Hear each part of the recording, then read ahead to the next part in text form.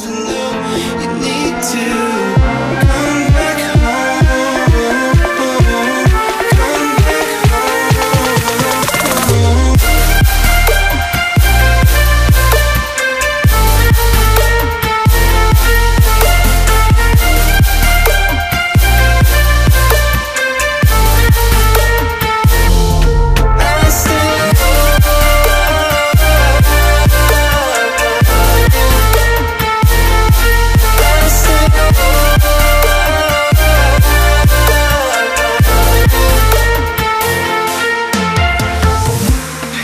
orchard skies.